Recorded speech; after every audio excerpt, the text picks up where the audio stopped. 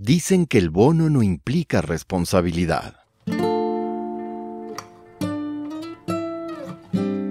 Mi nombre es Daisy Josefa Cedeño Mantuano. Soy madre soltera, tengo dos niños, uno de 3 años, otro de 14. Antes yo tenía que salir a otro lugar a buscar trabajo porque aquí no había fuentes de trabajo. 28 mujeres nos unimos y pedimos un crédito del bono.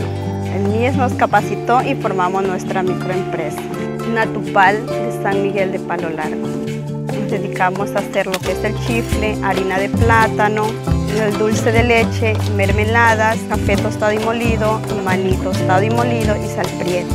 Nuestro anhelo es que, o sea, nuestros productos no solamente se vendan aquí en la provincia, sino que también puedan salir fuera a otro país. El bono transforma tu futuro. Avanzamos, patria.